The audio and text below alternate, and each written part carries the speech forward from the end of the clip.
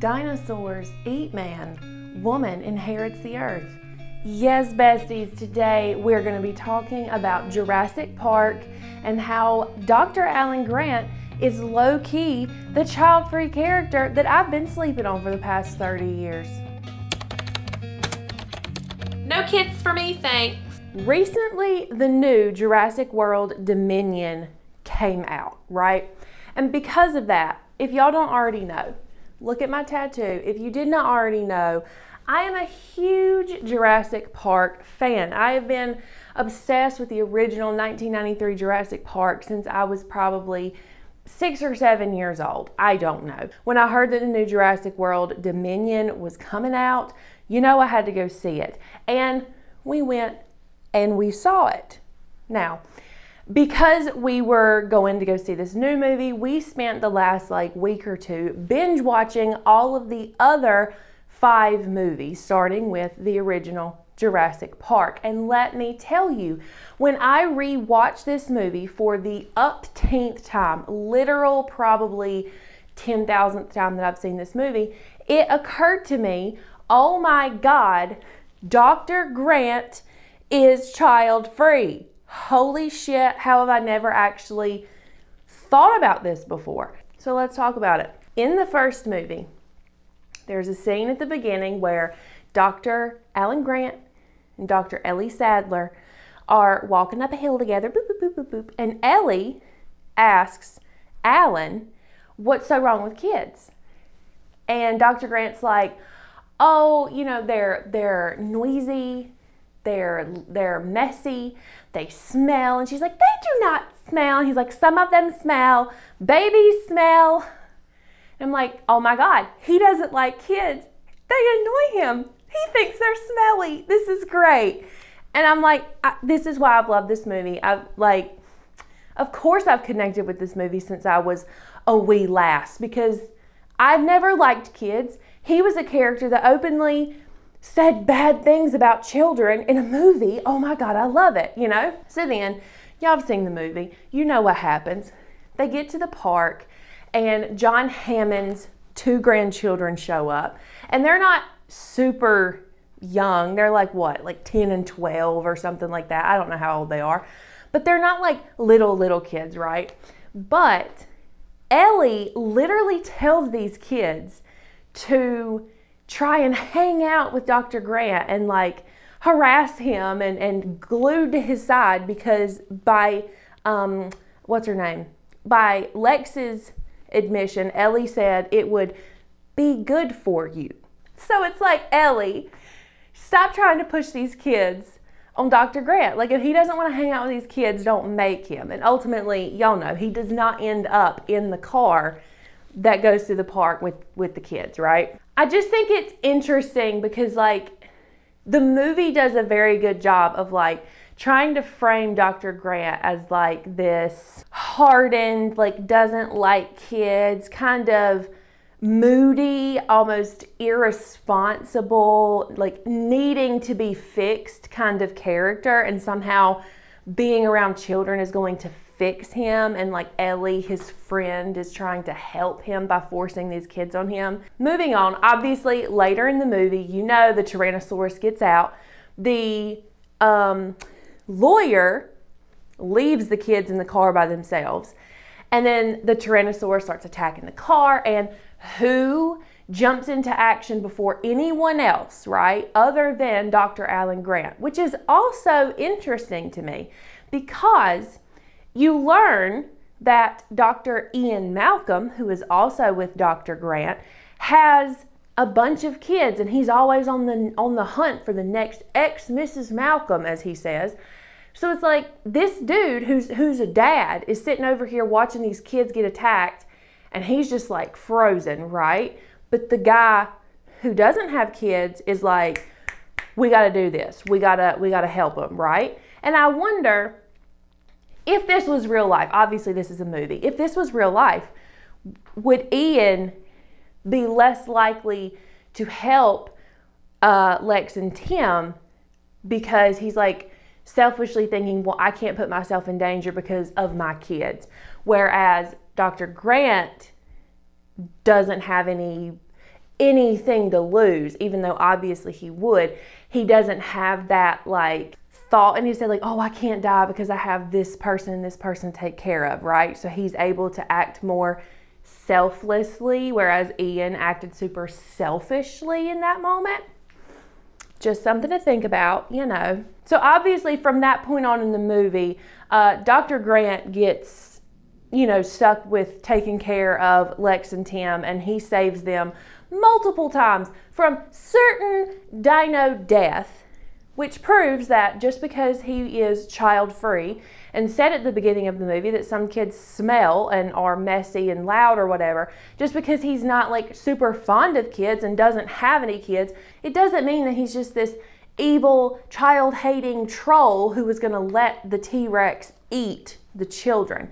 And like, he doesn't even act like he's very fond of kids, yet he still saved them and kept them safe until the end of the movie. So, as y'all know, Dr. Alan Grant does not show up again until Jurassic World 3. In that movie, as you know, he is enlisted, tricked into really helping these parents save their child who has wound up on a dino island.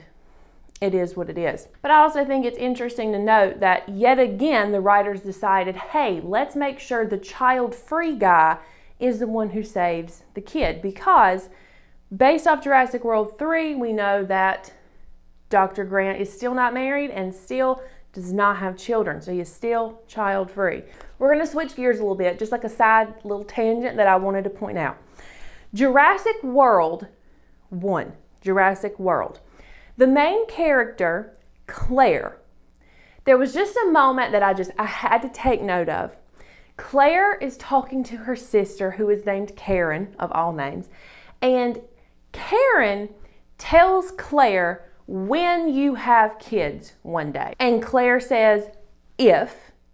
Karen insists on when.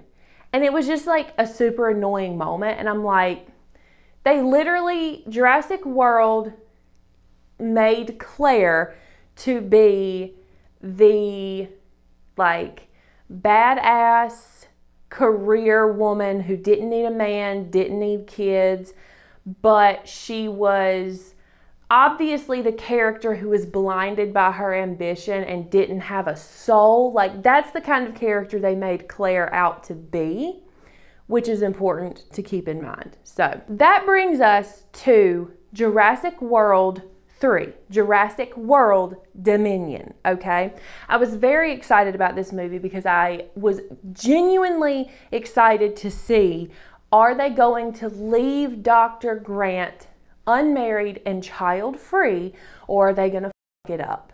Because you know how mainstream media is, they always got to do something to make people more appealing, right? Which would completely ruin his character for me if they did that. I would refuse to believe it was canon.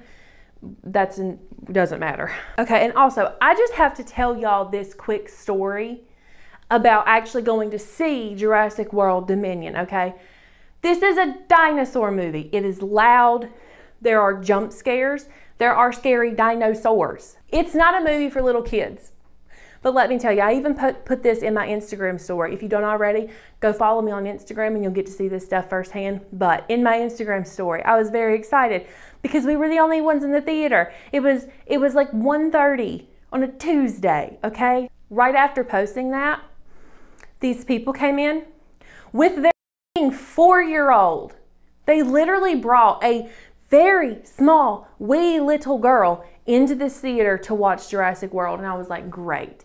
This is going to go terribly, right? So then it gets worse. I didn't put this in my Instagram story, so you're hearing it here first, folks. A whole slew of children. It was like two grown women and like literally five or six younger kids, probably like maybe fifth or sixth grade, come into the theater. They're noisy, they're loud, they're crinkling their wrappers. And then who else comes in? Someone with a infant baby cannot even like walk on its own or do anything. Like it's being held. The movie starts getting loud. Baby noises everywhere. And I'm like, son of a bitch. Remove your spawn out of this movie. Like, I do not want to hear baby noises in the middle of the Tyrannosaurus screaming. And it just goes back to the fact that you try to go to places where you think children won't be, and they're being there because parents are idiots. They're entitled. They think everything is for kids, even when it's not. It's funny though, the lady with the baby, I think she left once and then she came back in. And then I could literally see her out of the corner of my eye, standing there, holding her baby, bouncing it back and forth through most of the two and a half hour long movie. And I'm like, wow, bitch, better you than me. Absolutely not would I ever want to deal with that. Luckily, none of the children got like super loud and super disruptive at any point. It wasn't so much that it really ever ruined the movie for me, but it was mildly annoying. So I feel like I got pretty lucky with that one, especially with the fucking baby. Well, halfway through the video, you know what that means. If you're enjoying this, leave a like down below and help this video spread to more people. Near the beginning of the movie, we are reintroduced to Ellie Sattler, who we already knew from previous movies got married and had two children. Boo. Like I said, I loved Ellie in the first one because she was unmarried, she didn't have children, she was just like doing her career. She was all about plants, she was digging in dinosaur shit. And then by the third movie, they ruined Ellie's character for me, so whatever. Ellie goes to see Dr. Grant, and we find out that Dr. Grant is still living his best life, digging up bones in whatever desert he's in. And then Ellie starts going on and on about how, you know, her kids are in college now. She got divorced from her husband and she was finally able to go back to her work. And it's just her now and she feels so free. I'm like, wow. No shit, Ellie. You could have just done that for the last 30 years if you just wouldn't have had to have kids. You could have done so much research and discovered so much stuff and helped the planet and your universe so much if you just would have had kids. But then it was interesting because during this conversation, Dr. Grant makes the makes the comment that, "Oh, well, it can get lonely." I'm like, "No, don't do Dr. Grant like this. Don't make him out to be just this lonely, sad old man because he never got married and had kids. And it's like, I didn't like that they left it out to interpretation because I know that a lot of people are going to interpret that as Dr. Grant is sad because he never had children with Ellie. Whereas I took it as he is sad because he's been in love with Ellie for 30 years and he still is not with her. And he never dated anyone else or never married anyone else because he loves Ellie, right? Anyway, whatever. So then later in the movie, there's another part where they meet up with Ian Malcolm. And he he says that he has five kids and that they're all older now. And then he looks at Dr. Grant and says, Oh, do you have a family? And Dr. Grant's like, No. And it's like so annoying because you obviously know what Ian means is do you have kids? Because that's all this man cares about. And it's so annoying because it's like, why do we keep doing this? Why do we keep why do we keep putting this shit in movies? And it's like I get that it's it's part of Ian's character to be insufferable, but it's just like why do we keep doing this shit in movies? And it also was just funny to see like such a real world thing happen in such a fantastical world at this point where people literally think you don't have a fucking family at all just because you haven't had kids. It's ridiculous. So by the end of the movie, my dreams finally came true, and Dr. Grant and Ellie finally get together. They finally become the couple that they should have been at the end of Jurassic Park in 1993. but I do have to talk about Claire just a little bit more. You remember I said Claire in the first one was like this, you know, boss babe, career woman, don't need no man. She didn't know how to interact with her nephews. She was very much not maternal, whatever, right? And that didn't bother me. But I also knew that they were making her that way on purpose as a character flaw, not as just her character. They used those things about her to signify a character flaw, which I thought was just cheap and shitty and so overdone. It's ridiculous. Claire becomes Mama Bear Claire to their kidnapped slash adopted clone child. And um, yeah, Claire becomes a mom, an adopted mom. It's really annoying. And it's just like, oh, cool. How original. Make the damaged, unmaternal woman of the series become a mama bear. Great writing. Love that. But honestly, Jurassic Worlds, the Jurassic World movies, honestly, if they never even existed, I would give two shits less. Um, I didn't think that any of the Jurassic Worlds were like, woo, like really great. Um, none of the movies after Jurassic Park will ever be able to even touch the magic that is Jurassic Park. Don't at me. We're not even going to argue about it. So, yes, that is my spiel about um, the Jurassic Park slash Jurassic World universe and the child free themes within. Um, let me know what you thought about the newest Jurassic World if you've seen it or if you haven't seen it and you just love Jurassic Park let me just just talk to me about how much you love Jurassic Park and just how much you love Dr. Grant and how much you love Jurassic Park Ellie.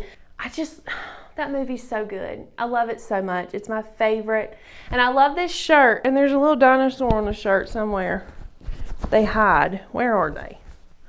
Oh, here's one on my shoulder. Look how cute that is. Is that not adorable? I got this shirt from Hot Topic and I'm obsessed. Yes, I'm about to be 29 and I still get things from Hot Topic. You can't stop me. I hope you enjoyed this movie deep dive with me. And if there are any other movies, new or old, that I need to watch or rewatch through the child free beer goggles, if you will, let me know down in the comments below and I will do that for you. Links in the description to my Instagram and my merch store. And I will see you in the next one. Okay, bye.